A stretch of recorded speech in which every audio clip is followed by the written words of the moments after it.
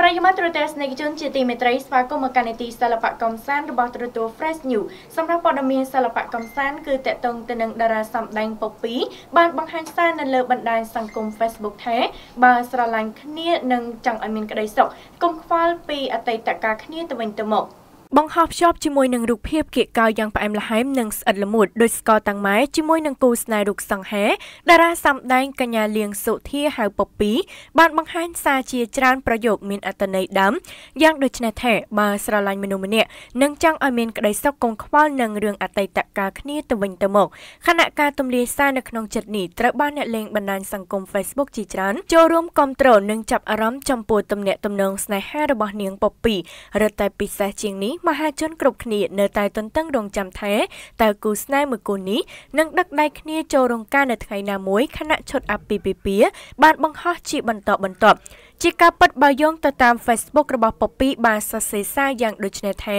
បើស្រឡាញ់មនុស្សម្នាក់នឹងចង់ឲ្យមានក្តីសុខកុំខ្វល់នឹងរឿងអតីតកាលគ្នាទៅវិញទៅមកឧទាហរណ៍ថាមានបរិះខ្លះសុខចិត្តស្រឡាញ់ស្ត្រីមេម៉ាយមានកូន2ឬ3ព្រមរស់នៅជាមួយនឹងគ្នាជារៀងរហូតហើយស្ត្រីខ្លះសុខចិត្តស្រឡាញ់បរិះពោះម៉ាយមានកូនរួចហើយដោយមិនខ្វល់រឿងអតីតកាលដូចគ្នាដូច្នេះសរុបសេចក្តីមកគឺនិស័យសួរថាចោះមនុស្សមួយផែនដីហេតុអីបានត្រូវមកជួបស្រឡាញ់គ្នាបានដូច្នេះសំខាន់សេចក្តីសុខយើងកើតចេញពីភាពស្មោះត្រង់និងទុកចិត្តជឿជាក់ទៅលើគ្នាទៅវិញទៅមកពិធីករណីដើមទ្រង់ធំធំរុកនេះបានសង្កត់ធ្ងន់ថា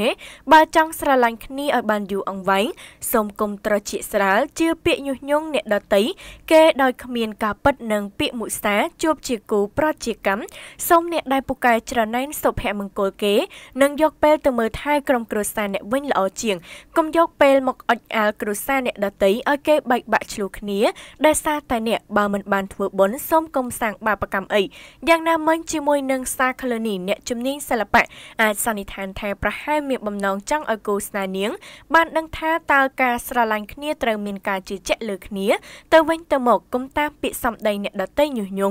ដោយគ្មានការពិចារណានិងមិនឲ្យគូស្នេហ៍នាងខ្វល់ពីរឿងអតីតកាលព្រោះបើរំលឹកពីអតីតកាលក៏មិនធម្មតាដែរមានន័យថាទម្រាំតែធ្លាក់មកលើដៃគូស្នេហ៍នេះបច្ចុប្បន្នពពីមានគូស្នេហ៍ជាច្រើនមកហើយតែទោះជាយ៉ាងណាក្តីគេសង្កេតឃើញថាសប្តាហ៍ថ្ងៃនេះពពីនិងគូស្នេហ៍តែងតែដឹកដៃគ្នាទៅចូលរួមកម្មវិធីសិល្បៈនានា ជាញឹកនឹងបានបង្ហាញកាយវិការផ្អែមល្ហែមដល់សាធារណជនទៀតផងតាមរយៈការយកចិត្តថ្លើមគ្នានិងភាពផ្អែមល្ហែម